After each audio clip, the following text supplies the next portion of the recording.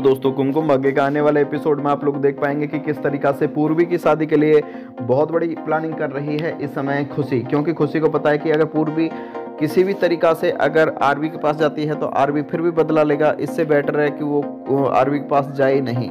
आप लोगों को बता देना चाहता हूँ, कहते हैं कि जो होता है वो अच्छे के लिए ही होता है दोस्तों, लेकिन अब जो होने जा रहा है, वो आप लोगों के लिए घना ही ज़्यादा दिलचस्प देखने को मिलता हुआ नज़र आएगा, क्योंकि सभी लोगों को जल्द ही पता लगता हुआ नज़र आएगा कि आखिरकार ये पूर्ण रूप से कहानी जो हो रही है आरबी की तरफ़ से। अब आरबी को किसी भी तरीका से पूर्वी की ज़िंदगी में धकेला नहीं जाएगा, क्योंकि यहाँ पर पूर्वी का मानना भी साफ़ साफ़ बिल्कुल जायज़ है, क्योंकि पूर्वी को मानना यह है कि आरबी जब अपने गर्लफ्रेंड को तवज्जो दे रहा है तो मैं अभी नहीं जाऊँगी, लेकिन कुछ समय के बाद मैं जाऊँगी। लेकिन दोस्तों, उससे ही पहले बहुत ही बड़ा खेला खेल दिया है, और बहुत बड़ा खेला क्यों खेला है, आप लोग जानते ही हैं, क्योंकि यहाँ पर साफ़ साफ़ बोलता हुआ नज़र आ रहा है आखिरकार। जी हाँ दोस्तों, मैं बात कर रहा हूँ यहाँ पर खुशी की, क्योंकि खुशी नहीं चाहती है कि किसी भी तरीक़ा से आरबी जैसा शख्स आरबी जैसे शख्स को कोई हक नहीं है कि वो किसी और की ज़िंदगी से इस तरीक़ा से खेले।